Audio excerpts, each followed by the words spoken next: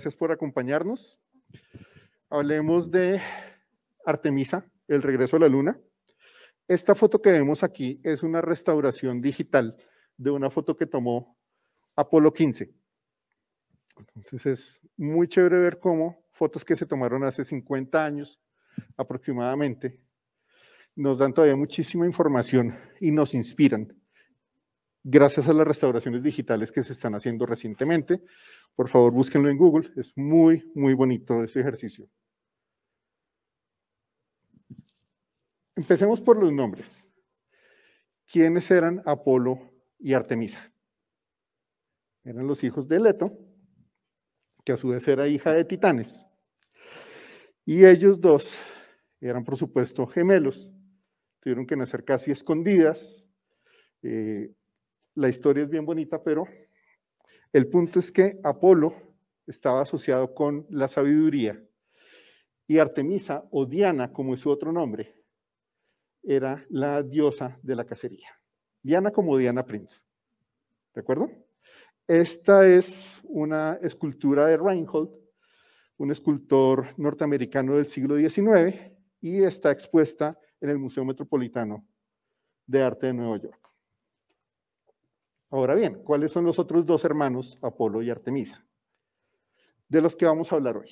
Por supuesto, primero el programa Apolo de los años 60 y 70, el primero en poner gente en la luna, y su hermana, Artemisa, que va a repetir la hazaña, pero de manera diferente, y eso es lo que quiero enfatizar en esta conferencia. Artemisa no es una repetición de Apolo en absoluto una tecnología muy diferente.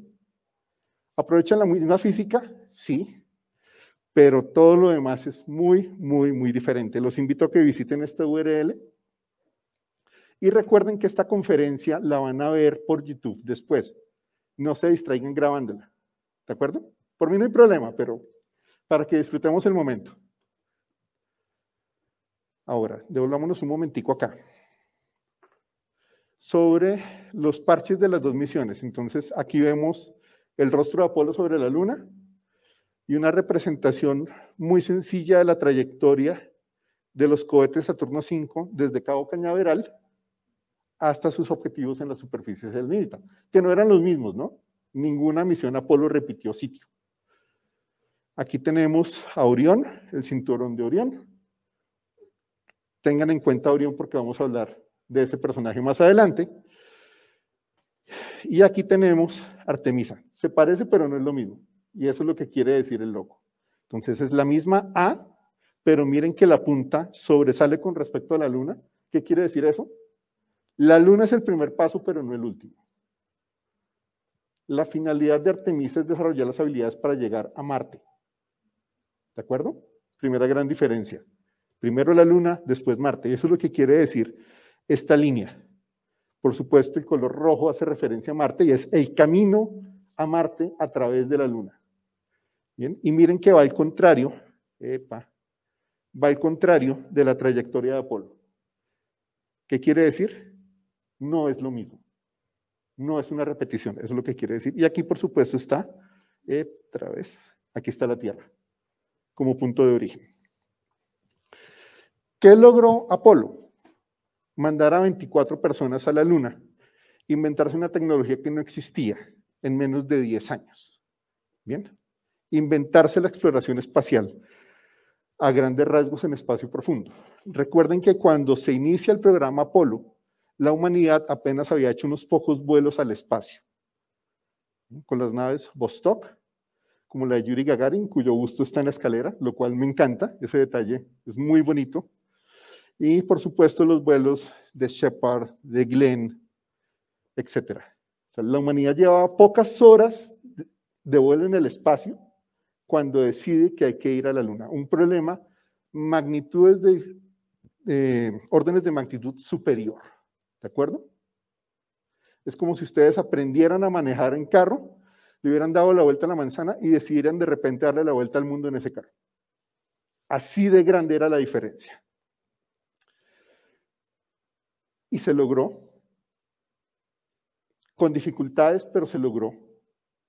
La idea con la que se le vendió al pueblo de Estados Unidos de hacer esto era ganarle a los soviéticos, eso era solo propaganda. El objetivo de Apolo era desarrollar tecnologías que no existían, era desarrollar ciencias que estaban comenzando, crear propiedad intelectual, que incluso usamos hoy en día. Todos nos hemos beneficiado de una u otra forma de la tecnología que se desarrolló para resolver los problemas de poner gente en la luna y hacer una inversión en la economía de Estados Unidos, una inversión gigantesca. ¿De acuerdo? Por cada dólar que el gobierno federal de Estados Unidos invirtió en el programa Apolo a lo largo de esos 10, 12 años, se devolvieron 12. Aclaro, no era una pirámide. ¿Bien? Entonces, valió la pena. Y además era un país que estaba dividido por la guerra de Vietnam. Esto unificó, puso a la gente de acuerdo. ¿Bien? Apolo aportó muchísimo.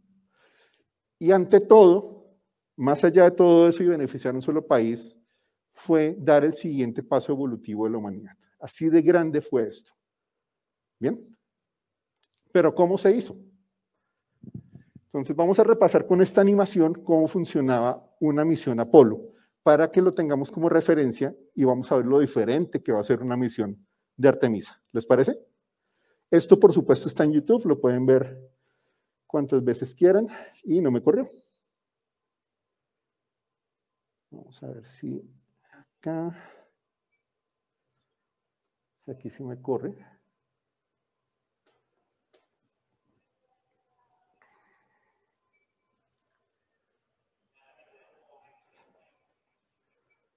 Entonces, el cohete Saturno 5, tan grande como el edificio de Bianca, más o menos tan alto como la Torre Colpatria. Llevaba tres etapas, ahí se soltó la primera, de oxígeno líquido y querosene. Levantaba todo ese edificio volante por los primeros minutos y después se encargaba la segunda etapa, que ponía el cohete mucho más arriba, ese ya era oxígeno líquido, hidrógeno líquido, y quedaba la tercera etapa, que ponía en órbita terrestre a los astronautas Apolo. Le daban al menos una vuelta a la Tierra para revisar que todo estuviese en orden y de ahí se prendía otra vez. Miren que era un cohete que se podía prender y apagar varias veces. Eso era súper novedoso en esa época. Lo mandaba en una trayectoria para que cayera en la influencia gravitacional de la Luna. Por el camino, pues si la misión tenía objetivos de alunizaje, no todas fueron así, recordémoslo, el módulo de comando y servicio daba la vuelta y atrapaba al módulo lunar. Se conectaban como una sola nave.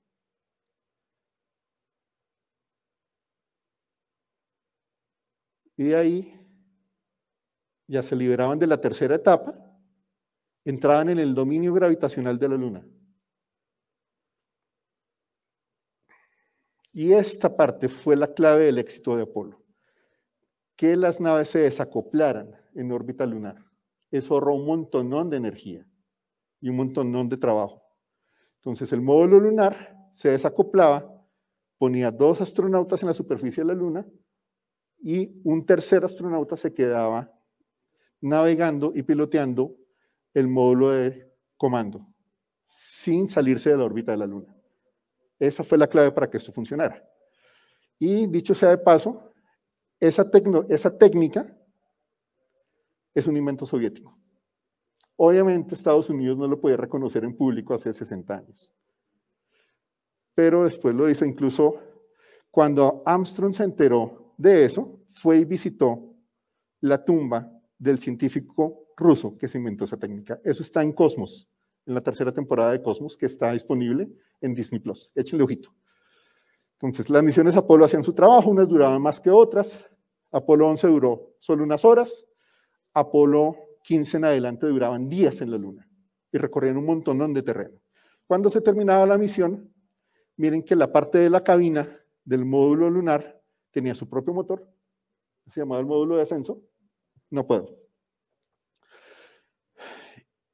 Se quedaban las patas del módulo lunar, pero el módulo de ascenso alcanzaba la órbita de la Luna, se acoplaba con el módulo de comando y servicio los dos astronautas se pasaban con todas las piedras, todo lo que hubiesen recogido, y los tres se devolvían solo en el módulo de comando y servicio.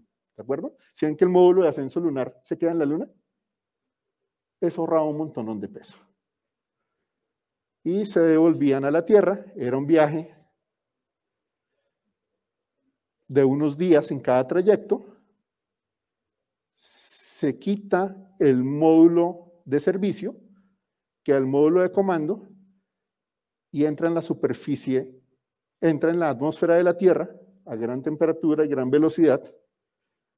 Abre los paracaídas, realmente solo se necesitaban dos, el tercero era por si acaso, y caían más o menos suave en el mar. Bien, así funcionó Apolo.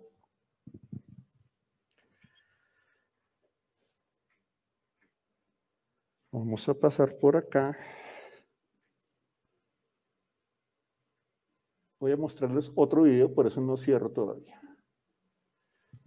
Entonces tenemos que las misiones Apolo que fueron a la Luna viajaron entre el 68 y el 72. Las primeras no alunizaron, ¿de acuerdo? Las que alunizaron fueron 11, 12, 13 alunizó.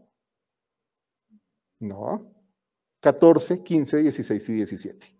Iban hasta la 19, pero 18, perdón, hasta la 20, 18, 19 y 20 fueron canceladas incluso antes de que Apolo 11 hubiese despegado. O sea, la falta de visión de Estados Unidos se hizo evidente incluso antes de que empezaran en forma a alunizar. Como, ay, pues ya con una le ganamos a los rusos, ya deje así, ¿para qué tanta plata? ¿Para qué invertir en el futuro? Ah, eso es como un padre que dice, mando a mis hijos a trabajar pequeñitos en vez de mandarlos al colegio. Es la misma barra basada, pero con varios órdenes de magnitud de diferencia, ¿de acuerdo? Invertir en ciencia es como invertir en educación en sus hijos, más o menos lo mismo, ¿de acuerdo? No es una cuestión de elección, se hace o se hace, o si no fracasamos.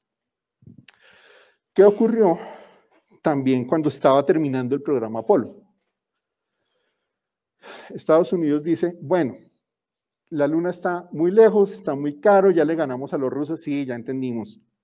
Pero hay que seguir manteniendo la industria espacial y el buen nombre de Estados Unidos como potencia.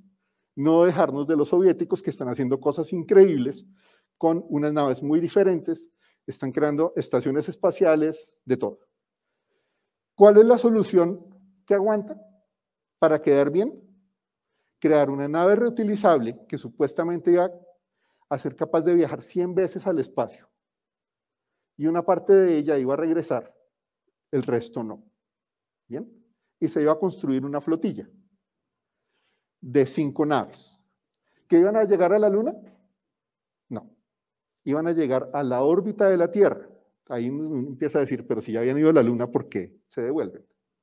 Falta de visión, no falta de plata. Se empieza a desarrollar finales de los 60, principios de los 70, se lanza en el 81. ¿Cómo se llamó el primer transbordador espacial? ¿El que es primero que se construyó? Enterprise. Enterprise. ¿Por qué se llamó Enterprise? Por el capitán Kirk y el señor Spock. ¿De acuerdo? Eh, pero esa es otra historia. La primer, el primer transbordador que viaja al espacio se llama Columbia. Enterprise era de pruebas en la atmósfera, ¿de acuerdo? Pero los que viajan al espacio son Columbia, Challenger, Discovery, Atlantis, Endeavour. Bien, vamos a ver un lanzamiento de un transbordador para ver la diferencia con respecto al lanzamiento de Apolo. ¿Por qué no agrando la imagen? Porque es que son videos viejos de baja definición, pero todo está en YouTube. No se afanen, ¿de acuerdo?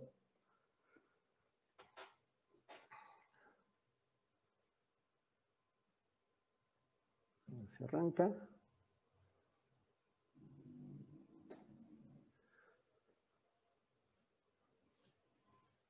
Ver si lo puedo agrandar ahora sí. Creo que me voy a dejar porque está embebido. Perdón.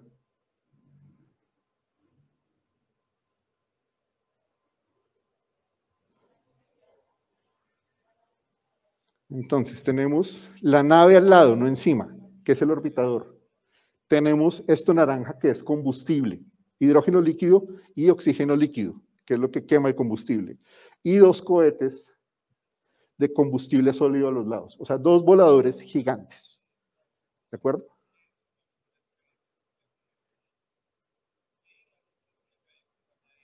Esas chispitas están quemando el hidrógeno que se alcanza a escapar en forma gaseosa, porque es imposible retener el hidrógeno completamente en un tanque como este. Y despega. Entonces, el tanque naranja está alimentando los motores que van aquí dentro del orbitador, pero buena parte del empuje inicial lo están dando los cohetes a los lados, los sólidos. Y miren cómo se voltea. Los transbordadores hacían esto. Volaban buena parte boca abajo, contrario a lo que nos muestran las películas de Hollywood. ¿Por qué? Porque es que las antenas iban acá, encima de la cabina. Entonces, para comunicarse con tierra tenía que hacer así. Eso era todo. Bueno, también había unas cuestiones de dinámica para hacerlo. Miren aquí cómo está quemando combustible en los tres motores. Estos tres motores son muy importantes porque son reutilizables. O sea, no solo se podían prender y apagar varias veces, sino que se podían utilizar en distintos vuelos y cambiárselos a cada orbitador. De los mejores motores que se han construido en la historia. Ya poco a poco se están acabando los motores sólidos, entonces cuando dejan de aportar impulso, hay que botarlos para no cargar puerzo muerto. ¿Bien? Eso es física elemental de colegio. Ya casi, ya casi. Son los dos primeros minutos. Miren que ahí como que ya se están apagando los voladores y van a caer en el mar con unos paracaídas porque pueden ser reutilizados.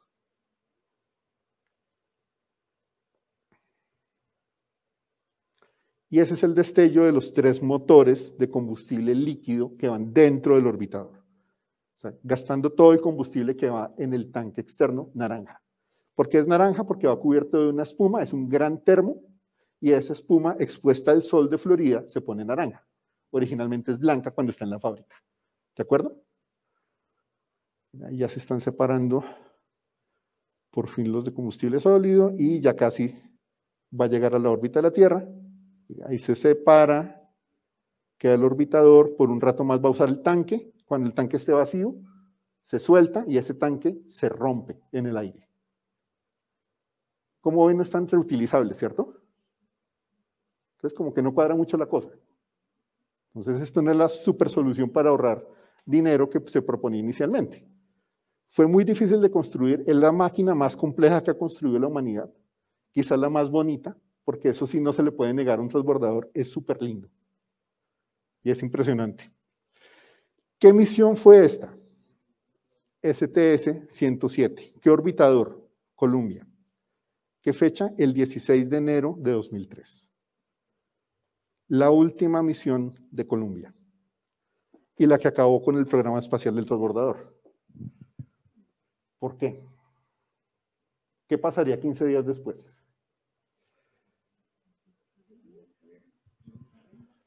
La tripulación de TS-107, una tripulación internacional multicultural, que fue un éxito científico. Hicieron un montonón de experimentos en 15 días en un laboratorio especial que ocupaba toda la bahía de carga. Se aprendió muchísimo. Dejaron un gran legado científico para la humanidad. Pero el primero de febrero de 2003, cuando el orbitador estaba regresando a la Tierra, faltando unos pocos minutos para aterrizar, se desintegró en el aire, sobre la superficie continental de Estados Unidos. Hablaremos de eso el año entrante cuando conmemoremos los 20 años de ese accidente, ¿de acuerdo? No vamos a ponernos tristes hoy. Pero ¿cuál es el punto? STS-107 demuestra que el transbordador era una idea maravillosa, pero era una mala idea. No era seguro, era el segundo transbordador que se destruía. Bien. El primero, por supuesto, Challenger en el 86. El registro de seguridad que debía tener esta nave, según las especificaciones, no se cumplió. No era seguro, era complicado cada orbitador había que hacerle un trabajo de 90 días mínimo después de cada vuelo para alistarlo para el siguiente. Esa era una de las razones para que existieran varios, poder rotarlos. Entonces, esto no era una cosa de prender y apagar como un carro. Entonces, la promesa de que esto iba a ser súper barato, etcétera, no se cumplió. El programa duró 30 años, desde el 81 hasta el 2011. Costó más que ir a la luna. Entonces, cuando Estados Unidos se da cuenta que esto sí era una mala idea, aunque mucha gente ya lo había dicho desde el principio, dicen, pues, vamos a terminar de construir la estación espacial porque es un compromiso con nuestros socios internacionales, especialmente con Rusia. Y la estación espacial está en buena parte diseñada para ser construida con el transbordador. No hay otra manera de hacerlo. Pero en 2011 el transbordador deja de volar. La flota se queda en tierra para siempre. Porque alistarlo después de 2011 para que siguiera siendo apto para vuelos, para que estuviera certificado como apto para viajes humanos, era mucho más costoso que iniciar un nuevo programa. ¿De acuerdo? Entonces, ¿qué ocurre después de 2003? Pues Estados Unidos se da cuenta que tiene que hacer más seguro el transbordador para los vuelos que quedan y poder terminar la estación espacial y hacer una última visita de mantenimiento del telescopio espacial Hubble. Todos son un éxito no vuelve a haber ningún fallo. La parte impecable del programa ocurre entonces de 2005 a 2011, en esa etapa final del programa del transbordador. ¿Y qué decisión se toma desde 2004? Pues si ya no va a haber transbordador a partir de 2011, ¿qué hacemos? Eso de la nave reutilizable que solo orbita la Tierra ya no pega. Cuando empieza a surgir una industria poco a poco que va a privatizar el espacio. ¿Bien? desde esa época ya estaban trabajando Virgin, SpaceX, Blue Origin y muchas más. Hay que liberar el espacio, literalmente, que la órbita terrestre sea para los privados, como contratistas. Y lo más difícil, lo que no es rentable, que sí lo haga NASA. ¿Bien? ¿Cuál es el objetivo lógico? Corregir un error histórico que se había cometido décadas antes había que volver a la Luna. Como paso, ya lo dijimos, para llegar a Marte, llegar a asteroides, explorar el sistema solar con juicio, cosa que habríamos podido hacer desde hace rato, pero perdimos décadas como humanidad dándole vueltas a la Tierra cuando ya habíamos ido a la Luna. ¿Sí ven que no tiene sentido? Entonces, ese error histórico del transbordador se corrige. ¿Qué hay que hacer? inventarse la forma, reaprender la manera de ir a la Luna, porque ya no se pueden hacer Saturno 5. La gente que había trabajado en el Saturno 5 ya se había pensionado, las fábricas ya no existían, la documentación ya no existía. Recuerden que eso era papel y acetato en los 70s y en los 60s. Una buena parte de la documentación se quemó. Todo ese conocimiento se perdió. ¿Qué quedó? Que se sabía que sí se podía hacer. Y se propone entonces el programa Constelación consiste en crear la familia Ares. Ares 1, Ares 5. Ares es el nombre romano de Marte. ¿Por qué dos cohetes? Miren que este es bien chistoso, parece que se fuera a caer, ¿no? Con esto tan grueso arriba. Uno de los problemas del transbordador es que servía para todo, para llevar tripulación, llevar carga, recoger cosas. Eso lo hacía supremamente complicado, o sea, poner en una sola nave el trabajo de muchas. Y eso lo hizo frágil y peligroso. La primera decisión técnica para constelación es, pues mande a los astronautas en un cohete solo para ellos y el resto de cosas que necesiten lo mandan en uno más grande. Y puede salir hasta más barato. ¿Bien? La logística se complica un poquito, sí, porque estamos hablando de dos lanzamientos en vez de uno, pero resulta mucho más seguro. ¿Qué tenemos acá en el Ares 1? ¿Esto a qué se parece? Ya lo vimos. Un cohete de combustible sólido del transbordador, solo que más largo con más secciones.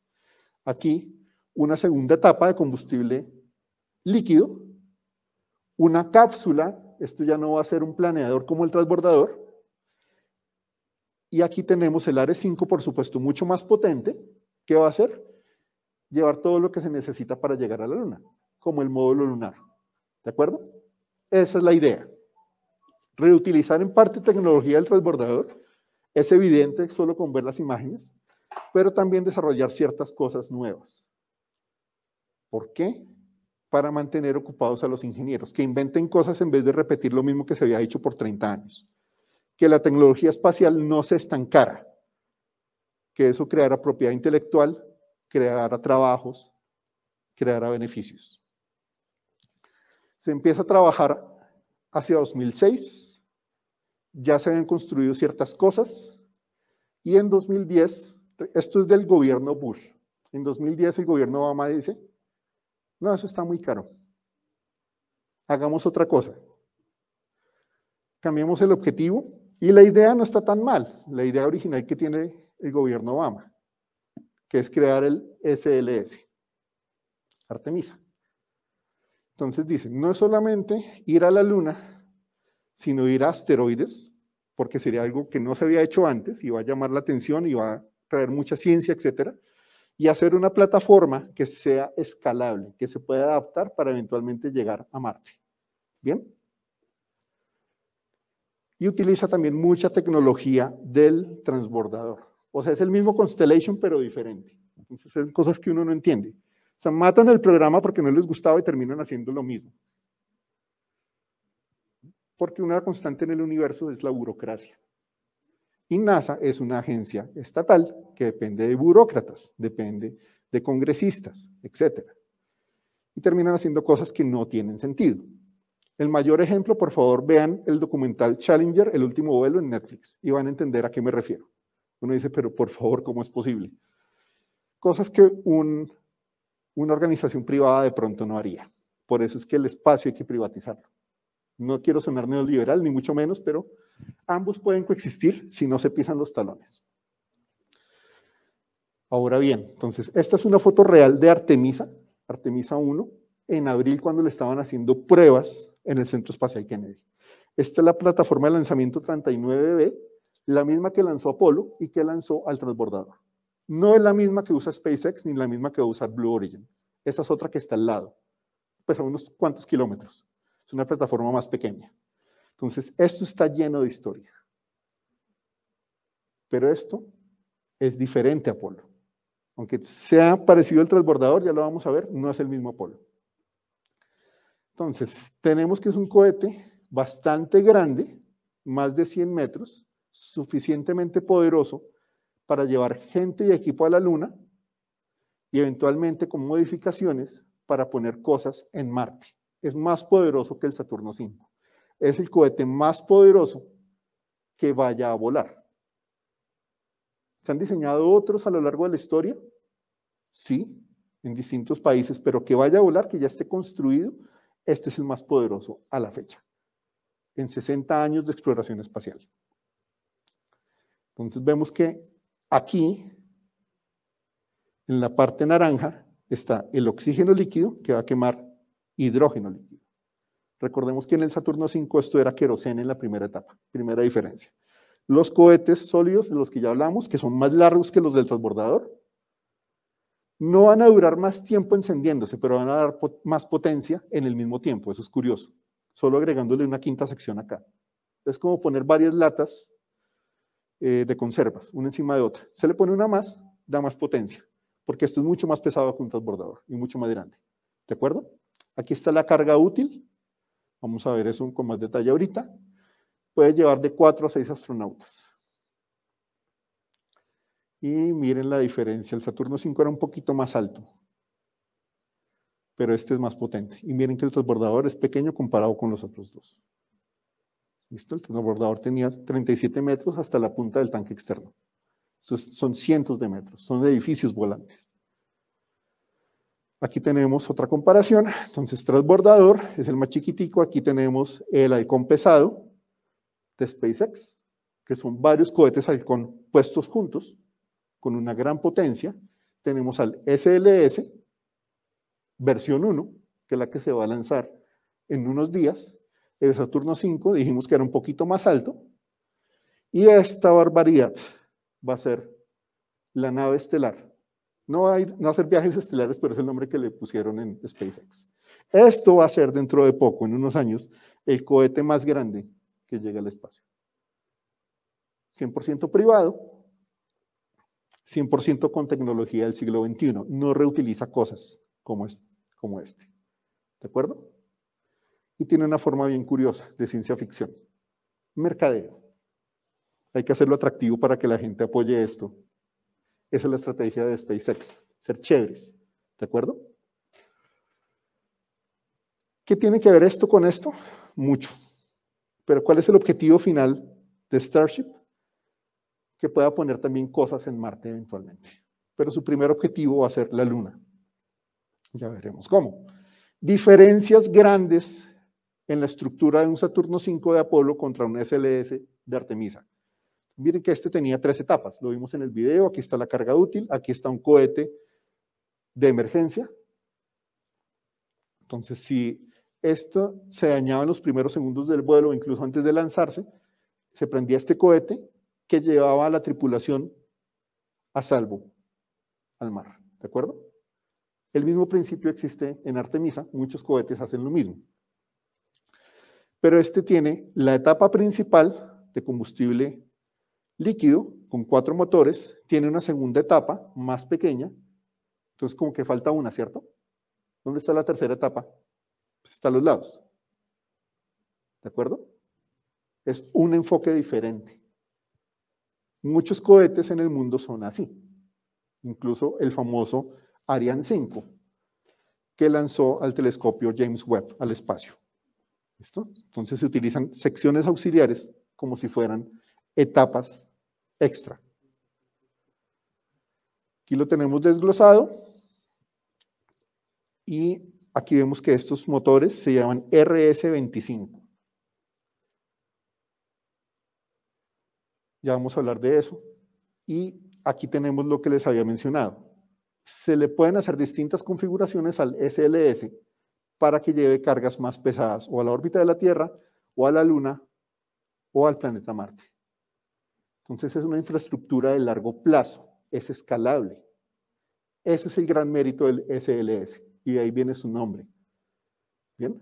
No es para un solo propósito, no es solo para ir a la Luna como Saturno 5, no es solo para ir a la órbita de la Tierra como el transbordador.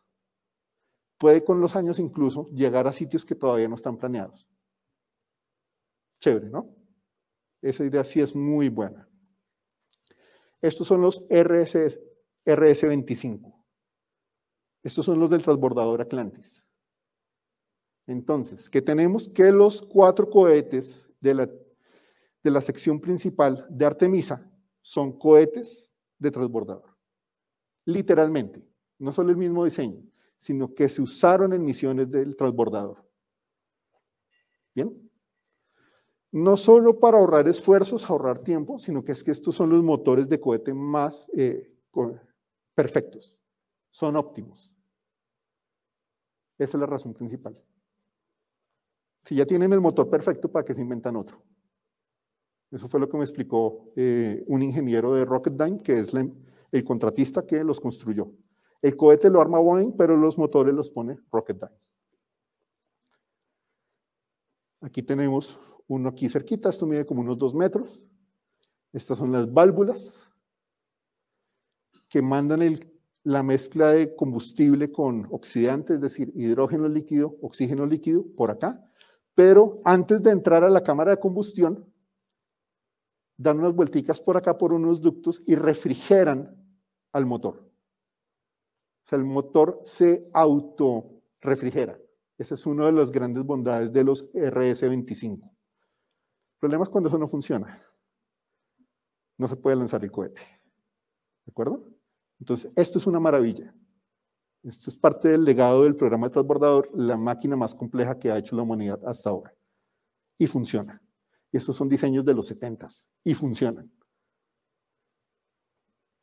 Ahora, ¿en qué se va a llevar a la gente? En la cápsula Orión de Lockheed Martin. Esta Orión es la misma cápsula que iba a viajar con los cohetes Ares. Entonces, lo único que sobrevivió del programa Bush Constellation fue esta parte, con una modificación principal, y es que ya no iba a tener dos paneles circulares como pizzas, sino los iba a tener alargados. Bien, y el módulo de servicio, o sea, donde va todo el soporte vital y donde va el motor que ayuda a manejar esto para que entre o salga de órbita lunar, es diferente. ¿Quién lo construye? La Agencia Espacial Europea. Basado en los módulos de servicio que crearon para la Estación Espacial Internacional. ¿Señor? Sí, señor. Entonces, miren cómo el SLS ya es un esfuerzo internacional, basándose en todo lo que se ha aprendido de tener una nave tan grande como un estadio de fútbol, dándole la vuelta a la Tierra cada 90 minutos. 20 años y va hasta 2030. Uno de los mayores éxitos de la exploración espacial ha sido la Estación Espacial Internacional, en lo técnico, en lo científico, en lo humano, en lo político. Artemisa se va a basar en eso en esa cooperación. ¿De acuerdo? Aquí tenemos más detalle. Miren la comparación entre las naves Apolo y Orión. Orión es mucho más grande porque no va a ser para tres personas, va a ser para cuatro o hasta seis, con mayor comodidad, entre otras cosas. Va a ser mucho más pesada, por eso es que el SLS tiene que ser más potente que un Saturno 5, porque lleva una carga mucho más pesada y lleva más gente lleva este módulo de servicio, dijimos, aquí viene el motor. Tiene, por supuesto, un módulo de escape ambos, sí, pero no son lo mismo. Resuelven el mismo problema, pero esta es una tecnología diferente después de todo. Comparación con otras naves, entonces aquí está de nuevo el módulo de comando Apolo, este es el Orión, este es el Dragon de SpaceX y este es el eh, Starliner de Boeing. ¿Qué tienen de especial estos dos? Son privados, son para mandar gente a la Estación Espacial Internacional. Ambos son contratistas de NASA. ¿Quién lo ha logrado ya cuatro veces? Y fuera hecho ha hecho sus propias misiones sin NASA para mandar gente al espacio. Este, el de SpaceX. ¿Cuál ha tenido un ensayo y le fue súper mal? Boeing. Boeing es una empresa súper reconocida, con muchísima experiencia, participó en Apolo, etc. Todos hemos viajado alguna vez en un avión Boeing, pero SpaceX le está ganando. ¿De acuerdo? Pero viene otro por detrás que seguramente le va a ganar a SpaceX, que se llama Blue Origin. Las que están peleados incluso con líderes legales, ahorita les cuento, el chisme es simpático. Pero bueno, esas son las diferencias entre las cápsulas que se están usando hoy en día y una Apolo. Bien. Este es un modelo a escala natural de una cápsula Orión en el Centro Espacial Kennedy.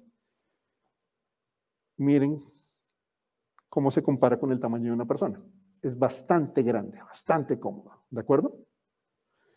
Entonces, si la cápsula Apolo era algo así como un Volkswagen, esto viene a ser como una camioneta, una SUV, así de cómodo es esto. ¿Bien? Y aquí tiene un módulo para acoplar con algo. Calma, ya vamos a hablar de eso. Aquí vienen los cohetes pequeñitos para maniobras no para propulsar, porque eso es otro módulo, ya lo vimos. Esto es solo para maniobrar, que gire, que se alinee, etc. Ahí está.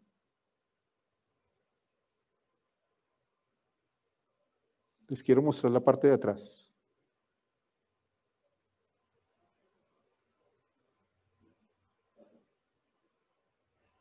Entonces, esta parte, que cuando regrese a la atmósfera de la Tierra va a soportar muchísima temperatura, es un escudo de ablación, es parecido al de la época de Apolo. Esto no son baldosas como el transbordador, es un material hecho para quemarse.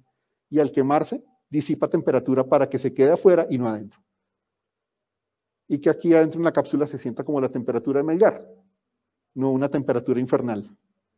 Del plasma en el que se convierte la atmósfera alrededor de la cápsula cuando entra a miles de kilómetros por hora y empieza a desacelerar hasta unos pocos metros por hora en cuestión de segundos. Ese es.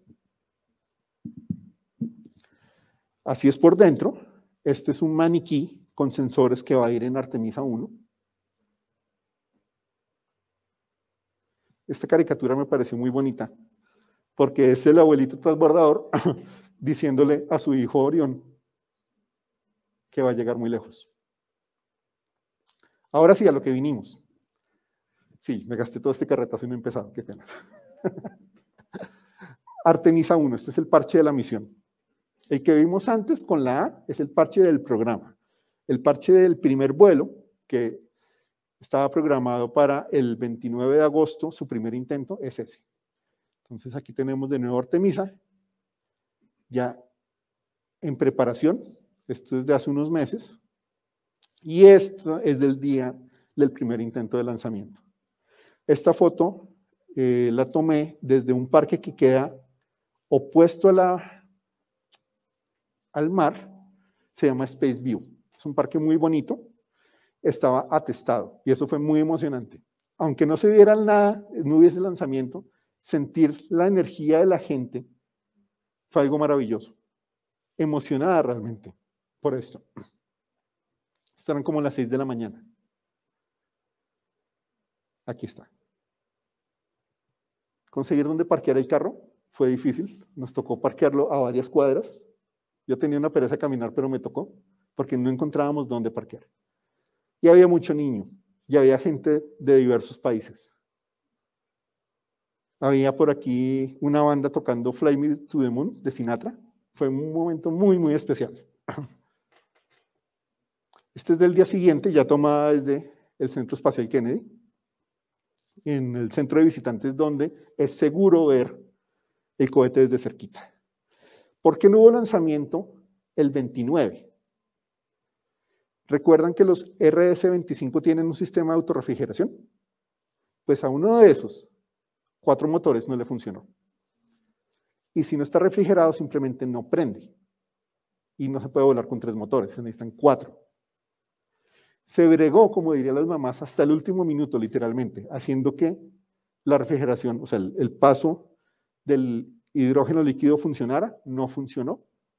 Ahí en la plataforma de lanzamiento tocó cancelar el lanzamiento e intentar el sábado 2 de septiembre. Pero el 2 de septiembre ocurrió otro problema, y es que había mucho hidrógeno en forma gaseosa escapando del tanque de abajo. Siempre escapa, porque es imposible hacer esto totalmente aislado térmicamente. Siempre se va a escapar un poquito. La idea es mantenerlo líquido para que sea fácil de controlar. Pero cuando se escapa, se escapa en forma gaseosa. Pero se estaba escapando más del que debía escapar. No se podía lanzar así. Intentaron arreglarlo toda la mañana del 2 de septiembre, faltando unas tres horas para el lanzamiento, dijeron, no, ¿sabe qué? Eso no se puede arreglar en la plataforma, toca desocupar los tanques, mandarlo con el vehículo terrestre que se para debajo de la plataforma, lo alza y lo lleva a una velocidad de un kilómetro por hora. Y se demora un día hasta llevarlo al edificio donde se reacondiciona el cohete. Así de grave era el problema. Pero, ¿por qué tanta cosa? Pues es normal, es el primer vuelo de una nave totalmente nueva. Que use tecnología ya conocida, sí, pero integrar todo el sistema y hacer que funcione es la primera vez que se intenta. Es natural que exista esto. En Apolo ocurrió, en el transbordador ocurrió. Era normal que una misión de transbordador se cancelara cuatro veces por temas de este estilo. Esto es literalmente ciencia espacial, es lo más difícil que hay en este mundo. Paciencia. El próximo intento va a ser el 27 de septiembre. Vamos a ver si este me funciona. Si no me toca acá otra vez. Por supuesto, está en YouTube, que lo sabe todo. Este video no es de NASA, es de un aficionado. Entonces, eh, habrá cosas que no sean idéntico a la realidad, pero me parece muy bonito. Estas son imágenes reales de cuando Artemisa se mandó a la plataforma 39B a principios de año para pruebas vacíos, sin combustible.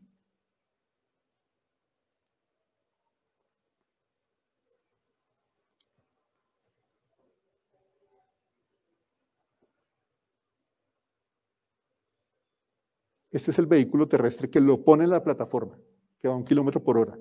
Se construyó para Apolo. Son dos. Son los vehículos terrestres más grandes de la historia, los mejores construidos. Solo una vez han tenido que ser reparados en 60 años, casi.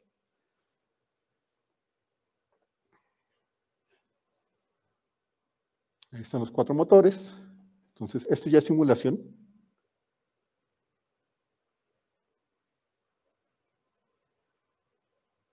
Un edificio volante que tiene que alcanzar la velocidad suficiente para ganarle la gravedad de la Tierra.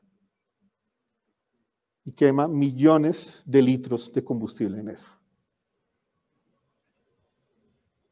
Entonces ahí se liberan los dos de combustible sólido, como el transbordador, pero esta vez no van a ser reutilizables. Nada en el SLS, excepto la cápsula Orion, es reutilizable. ¿Por qué?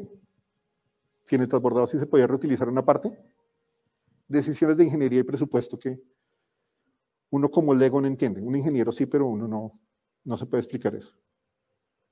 La segunda etapa, que realmente es reutilizada de los cohetes Delta 4, que se han usado por décadas para lanzar satélites al espacio. Ahí tenemos a Orión desplegando sus paneles solares. Entonces, se le da un empujoncito para salir de la órbita de la Tierra con ese motor del Delta 4, que es el motor criogénico, como le llaman, y le ayuda a llegar a un punto en el que ya no gana, no manda la gravedad de la Tierra, manda la gravedad de la Luna.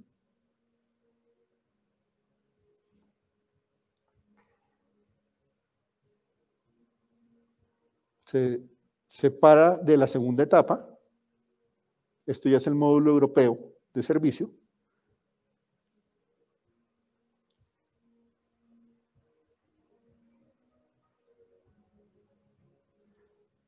Aquí se están lanzando unos CubeSats, parecidos al primer satélite colombiano. Uno de ellos va a usar una vela solar para propulsarse y llegar hasta un asteroide. Y la cosita es así de grande chiquitica. Entonces, esa es una de las misiones científicas, objetivos científicos de Artemisa, poner unos CubeSat en espacio profundo. Unos cuatro días después, se acerca a la Luna, pero su objetivo final no es la Luna. La cápsula Orión de Artemisa 1, después de pasar por la Luna, se va a alejar 60.000 kilómetros es lo más lejos que una nave diseñada para uso humano ha de llegar en la historia hasta el momento. ¿Para qué? Para probar cómo funcionaría eso en espacio profundo si queremos mandarla a Marte o a un asteroide. Por supuesto, recalco, esta primera misión no es tripulada. Solo llevaba el maniquí. Va a durar unos 30 días en el espacio. La duración real depende de la fecha en que se lance. Es una cuestión de órbita mecánica. Si lanzo en una fecha, tengo más momento para lanzar. La luna está más cerca o más lejos. No se afanen por grabarlo. Esto está en YouTube y la conferencia va a quedar en YouTube también. Disfruten. Y aquí viene la parte más importante y la más difícil de todas. Ver si Orión puede regresar a la Tierra sana y salva. El cohete puede funcionar de maravilla, pero si la cápsula no funciona bien, no se ha completado la tarea. Entonces, el módulo de servicio europeo se encarga de ponerlo en la posición correcta.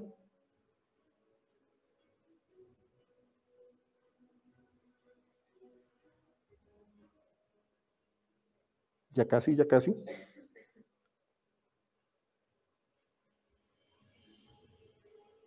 Se separan Recuerden que lo único de todo lo que les acabo de mostrar que es reutilizable es Orión. Tiene que entrar en el ángulo preciso, en el sitio preciso, o para que no se queme o para que no salga rebotando, como un guijarro en un lago. El escudo de ablación empieza a absorber un montón de temperatura, se lanzan los paracaídas, por supuesto, para hacer una desaceleración muy rápida, y cae en el océano. Aunque caiga en el océano, el golpe no es suave. Pero es preferible caer en tierra como hacen los rusos. Eso es.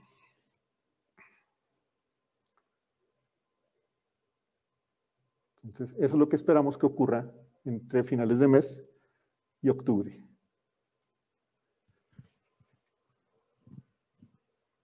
Este es el resumen de lo que acabamos de ver. Entonces, miren cómo es una trayectoria bastante larga, mucho más larga de lo que sería con una misión tripulada, para poder probar que esto sí va a funcionar en espacio profundo. Bien. Ahora, perdón por la foto pixelada. ¿Qué es lo más importante de todo esto? Lo realmente más novedoso. El paisaje. Mentiras, ahora sí. Esta tripulación, la nueva generación, son 18 astronautas nueve mujeres, nueve hombres. Y entre ellos, nueve que ya han viajado al espacio, especialmente a la estación espacial, y ya han hecho historia ya, como estas dos señoras, que son las primeras en haber hecho una caminata espacial solo con mujeres, hace unos años. Y los otros nueve son novatos, parecido como fue Apolo. Algunos venían del programa Mercury, otros del programa Gemini y otros eran novatos. Esa mezcla de experiencia y juventud, si se quiere, funciona. El rango de edad va desde los 33 hasta los 53 años. Y son los mejores en su campo. Son los mejores en el mundo para hacer esto. Sean pilotos, sean médicos, sean ingenieros. Tuve la oportunidad hace poco de estar en una charla con Winston Scott, que fue un astronauta que viajó al espacio dos veces. Y una joven le preguntaba, ¿cómo hago para llegar a ser astronauta? Si no quiero ser piloto, no quiero ser militar. Él se lo resumió también como académico porque fue decano de la Universidad de Florida en aeronáutica y en música. Él primero estudió música, después se metió a, la Armada, ahí su, carrera militar y después fue astronauta. Y después fue decano. Un personaje muy interesante y una gran persona. Le dijo, lo único que tiene que hacer es la mejor, ser la mejor del mundo en lo que hace. Entonces, los civiles, los astronautas que no han hecho carrera militar, tienen mínimo su doctorado, todos. Y su tesis de doctorado ha sido resolver un problema que nadie antes ha podido resolver. Son los expertos a nivel mundial en algo. Y ese algo tiene que ver con materiales para construir en Marte, o cómo sembrar papas en Marte. Me acordé del, del marciano. ¿Se acuerdan de la película? Entonces, Matt Damon era el mejor en el mundo en sembrar papas en Marte. ¿De acuerdo? Es eso. O sea, que se inventen una tecnología que se puede usar en el espacio o que vale la pena experimentar en el espacio y no hay nadie mejor en el mundo para ello. ¿De acuerdo? Entonces, jóvenes que nos están escuchando, si quieren ser astronautas, tienen dos opciones. O ser excelentes pilotos militares o ser los mejores académicos en su campo. Solo los mejores. Si son los mejores, nadie más les va a ganar. Sí, hay que tener un excelente estado físico, buenas condiciones psicológicas, etcétera. Pero lo que les va a hacer ganar el puesto es ser los mejores en algo teórico. Así son los astronautas de hoy. No son super seres humanos, como eran los 60, sino gente supremamente especializada que se ha preparado solamente toda su vida para ello. Eso es lo que se necesita para ser un astronauta en un programa espacial nacional, sea de NASA, sea de Rusia, sea de Europa. Entonces, alguna de estas personas, sobre todo una de estas nueve señoras, va a ser la siguiente persona que pise la luna. ¿Bien? Entonces no estamos hablando del regreso del hombre a la luna, porque eso es puramente sexista y obtuso. Estamos hablando de que la humanidad pise la luna, camine en la luna con pasos de mujer. Así de importante es esto. ¿Y qué otra cosa es importante? Que el siguiente hombre en caminar en la luna no va a ser un hombre blanco cristiano como se pedía en Apolo. Uno de los requisitos para ser astronauta Apolo, además de ser excelentes pilotos militares y tener una carrera impecable y un excelente estado físico, era ser blanco y ser cristiano, y ojalá ser casado. ¿Por qué? Por propaganda. Estados Unidos trataba de mostrar con su programa espacial que era mejor que los ateos soviéticos. ¿De acuerdo? Entonces los escogían así. Y en un país en los 60 que todavía tenía una fuerte segregación racial, pues había que ser blanco. ¿Hubo candidatos astronauta afroamericanos? Sí. Pero solo por eso no pudieron llegar a la ronda final, por racismo. Queremos pensar que hemos avanzado bastante en 50 o 60 años como seres humanos. Por eso es tan importante el programa Artemisa. ¿Qué va a hacer Artemisa 2? Pues si Artemisa 1 es un éxito y esperemos que así sea, en unos 3 a 4 años, no antes, pues se va a lanzar el SLS con una pequeña variante para poder soportar al Orión con cuatro astronautas. Van a pasar por la Luna sin orbitarla y se van a devolver. Va a ser un viaje mucho más corto que el de Artemisa 1. Va a ser de días y no de un mes. ¿Bien? Solo para demostrar que, que Orión se puede llevar gente. ¿Listo? Pero todavía hay mucho riesgo, por eso no alunizan, por eso no se quedan los 21 días orbitando la Luna que Orión sería capaz de soportar, en teoría. Es una misión corta, pero es suficientemente importante. Cuando eso sea un éxito, vendrá, por supuesto, Artemisa 3. Estamos hablando por pronto finales de la década o comienzos de la década de 2030. ¿Qué va a hacer? Este es el plan original, cambió un poco. El plan original era, se pone la cápsula Orión, llega a esta órbita supremamente elongada, se llama algo así como trayectoria semirrectilínea. Es tan excéntrica y tan alargada que hay pedazos que parecen rectos. ¿Por qué esta? Porque es supremamente barato llegar a esta órbita. ¿Y qué va a haber acá? Una estación espacial llamada el portal o gateway. Orión se acopla ahí, los astronautas se bajan, entran al gateway y de ahí se suben al módulo lunar, el vehículo de alunizaje tripulado, HLS, y llegan a la Luna al polo sur. No van a repetir los sitios de Apolo. Los sitios de Apolo de qué dependían? De estar más o menos cerca del Ecuador, donde era más fácil llegar. Entonces, claramente esto no es la repetición de Apolo. Van a llegar a un sitio supremamente difícil y supremamente interesante, que es el Polo Sur. ¿Por qué el Polo Sur? Porque allí hay cráteres con oscuridad perpetua, a los que nunca les pega la luz del sol, y que ahí hay agua congelada. No se puede derretir porque nunca le da el sol. ¿De dónde llegó ese agua? De cometas, hace mucho tiempo. ¿Y por qué es importante llegar ahí? Porque si queremos quedarnos en la luna a largo plazo, pues hay que buscar el agua. Y sabemos que está ahí. ¿Bien?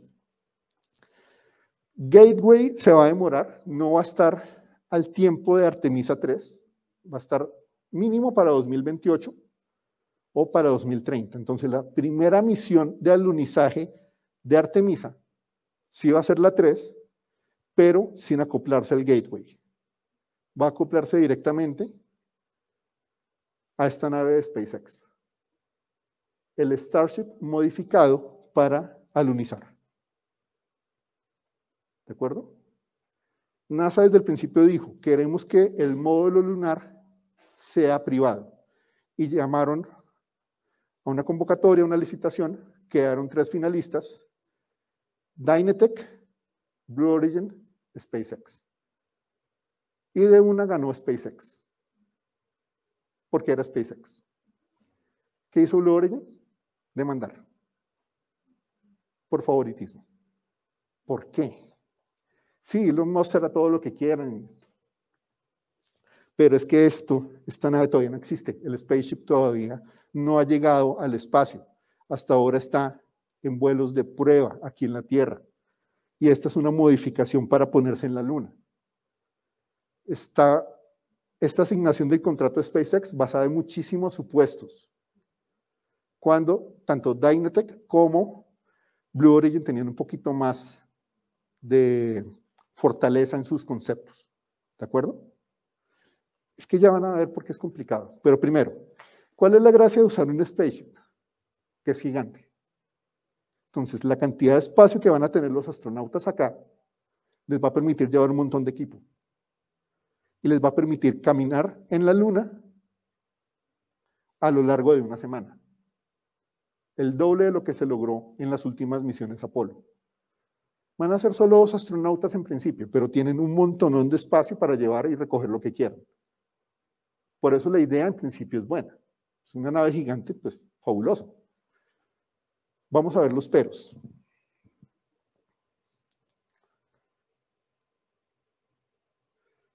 Y estamos sin StreamYard, según me doy cuenta. Va a tocar repetir la conferencia. Ah, bueno. Entonces, después la volvemos a hacer, no hay problema. Este es un video de un aficionado, no todo va a ser así en la vida real. Aquí hay muchos conceptos, empezando porque la nave todavía no existe. Aquí nos está mostrando el lanzamiento del Spaceship, con una primera etapa, por supuesto, también de SpaceX. No se lanzaría necesariamente desde Cabo Cañaveral, sino desde una plataforma de lanzamiento privada en Texas. La primera etapa, por supuesto, una vez que está vacía, se libera y aterriza solita, como SpaceX bien lo sabe hacer. Aquí este es un concepto, eso todavía no se ha hecho en la vida real, que es atrapar el cohete así, porque es un cohete mucho más grande de los que se han lanzado hasta ahora por SpaceX. Y esto no es en tiempo real. Aquí se están abreviando varios pasos en la animación.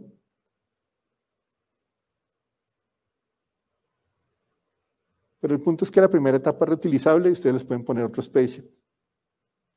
Y recondicionarlo no es tan difícil como recondicionar un transbordador.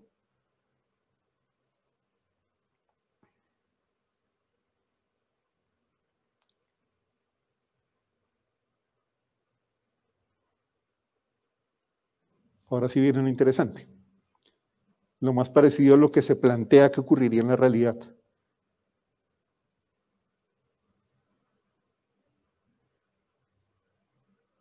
Entonces miren que aquí está el primer spaceship que se lanzó en la animación. Y aquí viene otro. ¿Esto qué es? Es un carro tanque. Le va a pasar el combustible a este para que vaya a la Luna.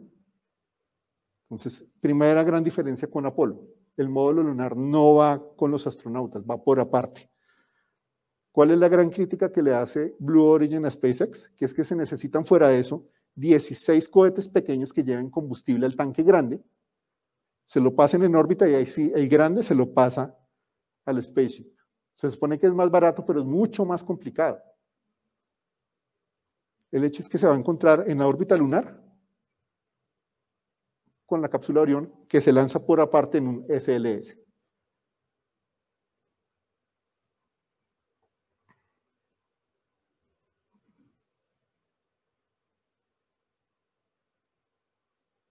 Como vieron, se acoplaron y por ahí pasaron los astronautas, no pasan por fuera.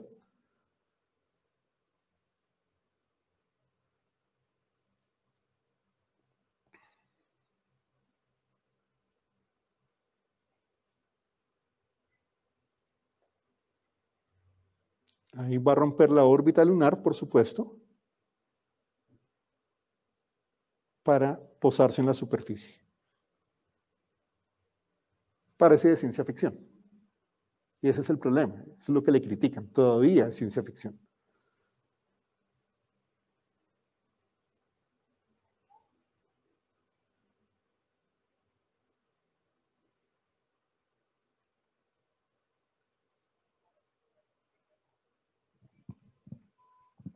Esa es la idea de SpaceX. Y fue la que ganó, aunque fuera mucho más complicada. ¿De acuerdo? Vamos a ver si funciona. Como ven, hay todavía muchas incógnitas no vamos a poder decir de una que ya porque vamos a lanzar Artemis 1 regresamos a la Luna. Hay mucho, mucho por hacer.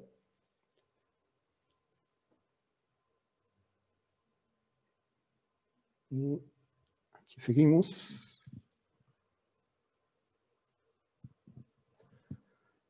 ¿Por qué sería Artemis 3 de esa manera? Porque el gateway no va a estar listo para 2024, 2025. Pero si se construye el gateway, esa misión, esa estación espacial, haría algo como esto.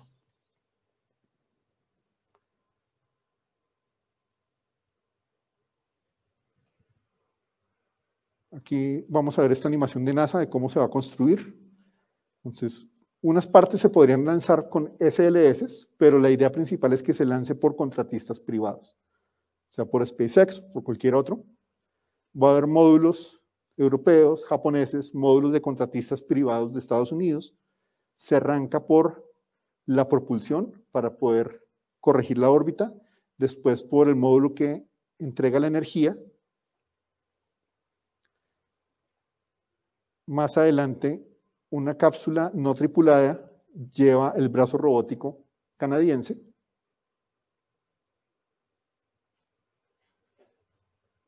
Y después empiezan a llegar las naves Orión. Entonces, esta es la arquitectura ideal, lo que realmente se quiere hacer. Es que Orión atraque con el gateway y eso va a ser mucho más barato a nivel de combustible y va a ser una trayectoria mucho más sencilla. Y después, ¿qué tiene que suceder? Que llega un módulo lunar, el que acaba de desacoplarse por este lado, no es la propuesta de SpaceX, era parecido a la propuesta de los otros dos competidores. Y poco a poco se va armando, basado en la experiencia de la Estación Espacial Internacional. Mucho más pequeña, sí, pero orbitando la Luna. Entonces, el propósito es que esto eventualmente reemplace la Estación Espacial Internacional. ¿Qué se va a hacer acá? Ante todo, estudiar la radiación solar en el ambiente lunar. ¿Por qué es importante? Nos permite estudiar al Sol con más precisión y recuerden que la actividad solar, si se pone muy violenta, puede dejarnos sin satélites de comunicaciones por un rato. Así de importante es conocer el clima espacial. Gateway va a ser ideal para eso. ¿Qué otra cosa va a hacer? Va a estudiar los efectos de la radiación en el cuerpo humano, especialmente ver si pueden generar cáncer u otras enfermedades graves. Qué interesante. Lo que se aprenda de ahí seguramente va a salvar la vida de muchos pacientes de cáncer en la Tierra. Por eso hay que hacerlo. Y así se sigue armando. Continuemos.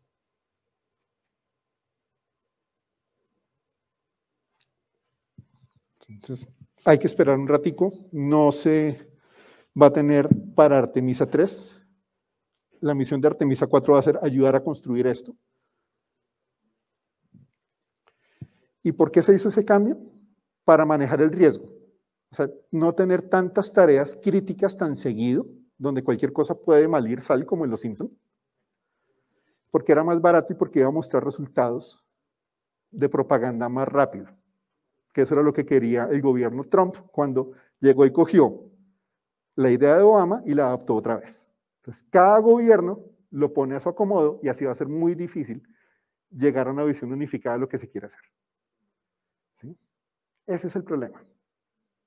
Entonces, eh, puede que después el gobierno Biden diga no, toca hacer otra cosa y eso se quede así. Todavía estamos en riesgo de que no exista una Artemisa 2, ni 3, ni 4, ni 5. La idea es hacer hasta Artemisa 9 mínimo.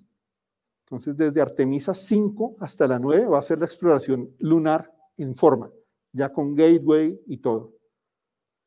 Pero todavía falta mucho camino es muy poco probable que Artemisa 2 sea, o Artemisa 3 sean para 2024 o 2025. Lo importante es que en algún momento se logre, pero falta muchísimo camino, así que calma. Lancemos Artemisa 1 y ahí vemos. ¿De acuerdo? Pero más allá de los costos, bueno, el SLS ha costado casi 6 mil millones de dólares. El Spaceship podría costar casi lo mismo, aunque se espera que SpaceX cubra parte del costo más allá de hacerlo porque sí, no es hacerlo por chauvinismo ni por mostrar superioridad ni nada de eso. Hablamos de cómo Apolo construyó el mundo contemporáneo, la tecnología que tenemos hoy, la ciencia médica. El hecho de saber que se puede ir a la luna nos muestra que casi cualquier cosa es posible. Y hay algo también muy importante que un paper publicó sobre el programa Apolo. Y es que en la década de los 60s y 70s en Estados Unidos aumentó muchísimo la cantidad de doctorados en ciencia y tecnología. ¿Por qué? Por el programa espacial. No porque esos doctorados fueran de gente que iba a ser astronauta o ingeniero de NASA, sino gente que se inspiró, quiso ser científica o ser ingeniero, por la maravilla de saber que se podía ir a la luna. Esos doctorados que terminaron haciendo, inventando un montón de cosas, generando un montón de propiedad intelectual, mejorando nuestra calidad de vida, haciendo ciencia. Ese fue el gran legado de Apolo. El mayor de todos fue eso, motivar a la gente a que quisiera estudiar ciencia y tecnología. Y ese es el sentido de Artemisa también. Y es lo que les quiero mostrar con este video que me parece muy bonito.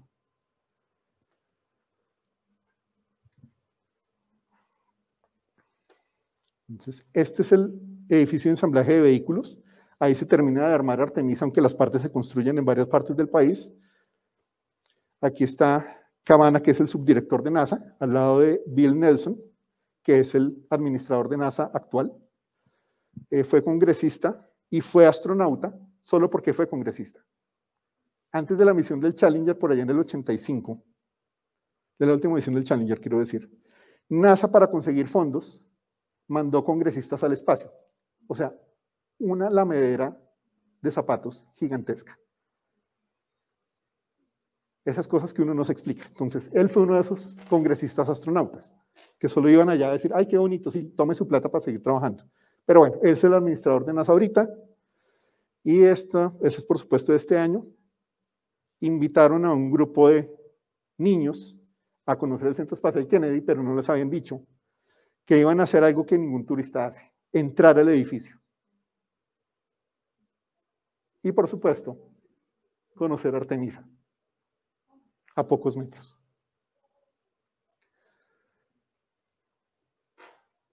Hay ahora que unos 60 niños, los que cabían en el bus. La pregunta es, ¿cuántos de esos por esta visita van a ser o astronautas o ingenieros o científicos o van a ser la competencia de SpaceX y van a ser emprendedores en el espacio.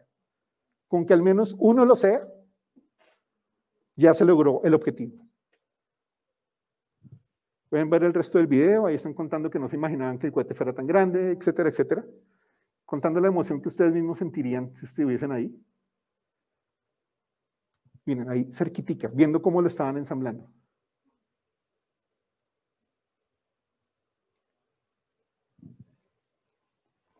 Entonces, por eso es que es tan importante que un país tenga un programa espacial. Porque eso genera científicos, genera ingenieros y genera artistas. ¿Por qué los artistas son importantes y por qué tienen que ir al espacio y lo han hecho? Porque solo ellos pueden ser capaces de expresar con el arte que sintieron. ¿De acuerdo? Como Alan Bean, piloto de Apolo 12, que era pintor, o como Alexei Leonov, el primer hombre en caminar en el espacio, que también era pintor. La ciencia y el arte van juntas y son indispensables para que esta especie sobreviva. Y lo más, más importante para mí es esta frase. Tenemos que hacerlo, porque está en nuestro ADN. Lo que quiere decir, sigan con esta cita de su libro, Un pálido punto azul, es, si no sabemos para qué estamos en este mundo, y nunca lo vamos a saber, porque es que nadie nos puso acá, solo la selección natural nos puso acá, pues hagamos que nuestro tiempo aquí valga la pena, hagamos algo que trascienda, algo que importe más que nuestro día a día y nuestras pequeñas preocupaciones, que nuestras disputas políticas, nuestras guerras, porque no son nada en la escala cósmica. Y si el cosmos se tomó el trabajo de, durante miles de millones de años en evolucionar en vida y en inteligencia, es porque quiere entenderse a sí mismo. ¿De acuerdo? Hasta ahora nosotros somos los únicos que sabemos que somos capaces de hacer eso. Esperemos que no seamos los únicos, porque qué vergüenza. O sea, imagínense si esta especie se acaba porque destruyó su medio ambiente. Entonces el cosmos quedó en nada. No se pudo entender. Tal vez por eso el cosmos haya evolucionado en vida en otras partes. No lo sabemos, pero tendría sentido. Y cuando cada uno de nosotros, así no seamos científicos, no seamos ingenieros, miramos para arriba, somos el cosmos mirándose al espejo. Eso es lo más, más importante que podemos hacer como seres humanos. Gracias.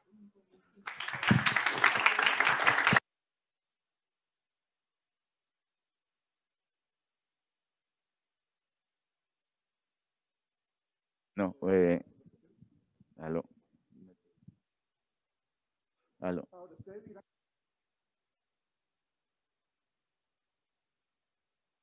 Ni el segundo. Es una pinche conferencia que no le funciona el streaming, por favor. Después hacemos otra. Lo importante es que ustedes.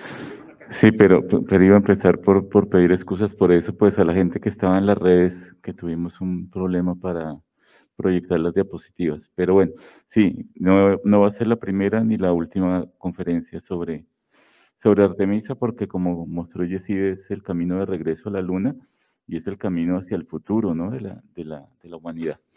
Sí, tenemos muy poco tiempo. ¿Hay preguntas en la sala?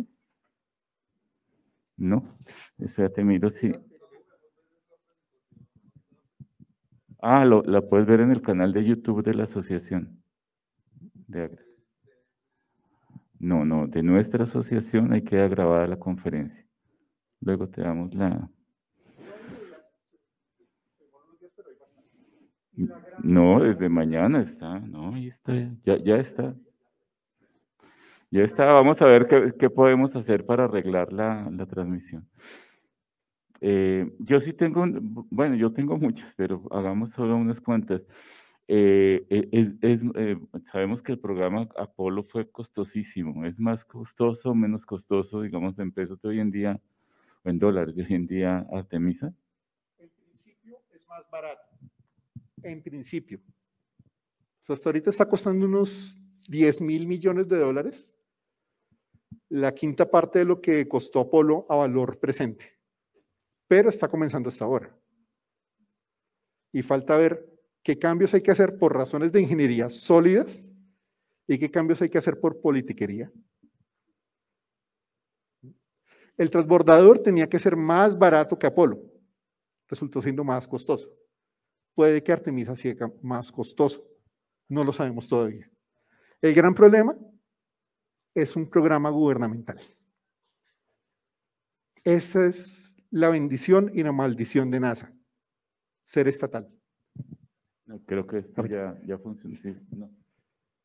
¿Un dueto? No, no. No sé si soy yo. Eh, no, y la otra pregunta para una respuesta corta que tenemos poco tiempo es, dijiste que, bueno, que hay mucha cosa por probar, pero me parece que son como más de las que ya conocemos. Por ejemplo, ¿por qué puede haber, que ir como más allá, espacio profundo tenía tenía problemas. ¿Por qué? ¿O por qué orbitar la Luna, si ya lo hicimos alguna vez, tiene problemas? Y la otra pregunta como relacionada, eh, ¿por qué empezaron tan pronto si todavía no tienen como todo listo? ¿Era el camino correcto? Sí, es el camino correcto. O sea, miren que la física no es el problema. Se sabe desde mucho tiempo atrás cómo poner algo en la Luna en cierta órbita. A lo que nos referimos es ver si la nave funciona como se espera. ¿De acuerdo? Que las comunicaciones funcionen, que no tenga una fuga, que la navegación funcione correctamente, que el nuevo sistema de comunicación banda ancha eh, de datos funcione como se espera. Esa es la prueba. Ahora, ¿por qué son tan poquitas misiones? Pues porque sí se ha aprendido mucho primero de Apolo. Apolo enseñó que sí se podía hacer. Apolo no tenía ese, ese lujo. Artemisa sí. Y porque, como vimos, bien heredado todo lo que se aprendió con el transbordador y la estación espacial. Eso sirve. Pero es una nave nueva. Eso es lo que no se puede negar. Y poner todas esas piezas, millones de piezas juntas, no va a funcionar como se espera. Y ese es el sentido. Creo que ya funciona. A ver. Eh, bueno, eh, ya cortamos acá. Les agradecemos su asistencia hoy a la, a la conferencia sobre Artemisa. Como les digo, obviamente ni va a ser la única misión, ni va a ser la única conferencia que hagamos. Eh, por te digo, estén pendientes en nuestras redes sociales, está toda nuestra programación, están las, las, los vínculos al, al canal, en el canal de YouTube, que los invitamos a que se inscriban en él. No solo está esta conferencia, sino desde las del 2020 y aún atrás, o sea, con la pandemia aprendimos a hacer eso y ahí están, abiertos al público. Eh, los invitamos en ocho días, vamos a tener una, una conferencia sobre la noción de agujero negro. Yo quería llamarle algo así como agujeros negros para, para novatos. Eh, pues un socio de nuestra, de AGDA, que es físico y profesor, va a hacer un ejercicio que hizo con alumnos de colegio para, uh, y, lo, y, lo, y, lo, estábamos haciendo con un colegio para explicar la noción de agujero negro. Y yo le dije, no, pues explíquenosla nosotros que tampoco somos expertos. Entonces lo esperamos aquí en ocho días y a ustedes. Muchas gracias y hasta la próxima ocasión. Los invitamos también eh, a quedarse a continuación a la charla de nuestros eh, compañeros de ASASAC sobre cosmología, sobre conceptos de cosmología. Muchas gracias y hasta la próxima. A continuación ya.